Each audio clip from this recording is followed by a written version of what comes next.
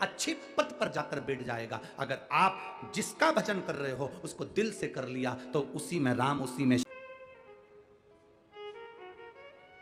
अपने स्वयं, हम स्वयं अगर मंदिर तक नहीं जा सकते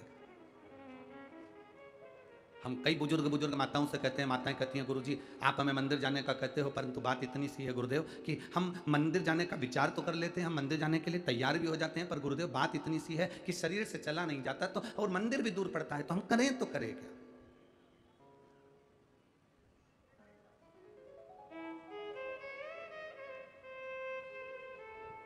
एक बहन रोज एक पत्र लिखती है, शायद आज भी पत्र आया होगा, हम पढ़ नहीं पाए।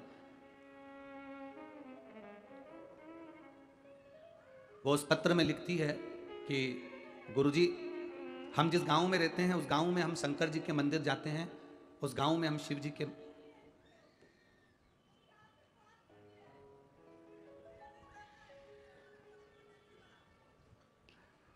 आप लिखकर भेजो मुझे थोड़ा सा लिखिए, मैं उसको देखता हूँ।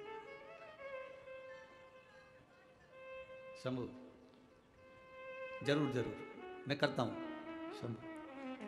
बैठो ज़रूर करूँगा। आज कथा के बाद में दस मिनट आपका और हमारा ही शरीर ठीक है?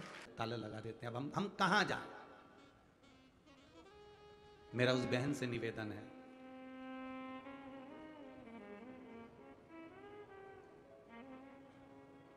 डाकघर एक होता है। बोलो, सही है? उस डाकघर के जो डब्बे होते हैं, लाल कलर के, इतने बड़े बड़े वो जगह जगह टंगे होते हैं। चिट्ठी उसमें डाल दो। तुमने डाकघर में जाके चिट्ठी नहीं डाली है?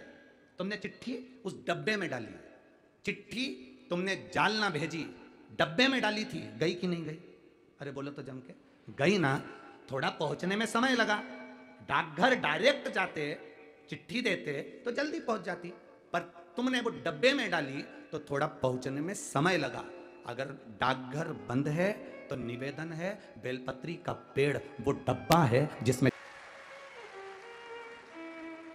डाकघर अगर बंद है, तुम डाकघर नहीं जा सकते। डाकघर में ताला लगा हुआ है और चिट्ठी तुमको जालना तक पहुंचाना है। अगर तुम्हें तुम्हारे जल को महादेव तक पहुंचाना है तो तुम चाहे पीपल का वृक्ष हो, चाहे बड़ का वृक्ष हो, चाहे बेलपत्री का वृक्ष हो, चाहे जो वृक्ष हो, उसमें तुम उस परमात्मा को याद करो और दिल से कहो, मेरा शंभु, मेरा शंकर, पीपल के नीचे जल चढ़ाना तो कहना पिपलेश्वर महादेव, बड़ के नीचे जल चढ़ाना तो बटकेश्वर महादेव, बेलपत्री के नीचे जल चढ़ाना तो हर हर महादेव। तुम जहाँ जल चढ़ाओगे, मेरा शंकर उसको स्वीकार कर लेगा। भले तुम डाकघर जाओ मत जाओ।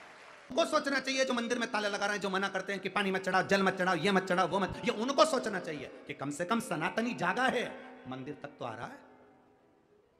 और तुम उसमें भी क्लेश करो तो मेरा निवेदन है, तुम्हारे घर के पास में तुम जहाँ और मेरी बुज़ुर्ग माताओं से निवेदन है, नहीं जा सकती तो तेरे घर में जो गमला हो, उस गमले में भी थोड़ी सी मिट्टी को ऊँची करना और उसको जल चढ़ा देना और वापिस पानी में। हो गया मेरा शंकर का गुण। अगर मंदिर में तुम्हें जाने से मना ना करें तो तुम मंदिर जाओ, देवालय जाओ, शिवालय जाओ, और अगर मना कर दें तो फिर अपना भगवान की भक्ति जहाँ बैठकर करोगे, वो स्वीकार करेगा। स्वीकार।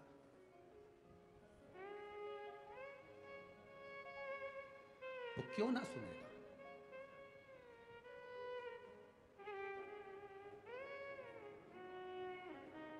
चीटी मंदिर जाती है? झिंगुर जुआ अरे बोलो तो जम के। हिरण, हाथी, जरा विचार करिए। श्रीमद् भागवत पढ़ी आप लोगों ने? सुनी है भागवत? भागवत में सुना होगा तो भागवत में हाथी के पाँव को मगर पकड़ लिया।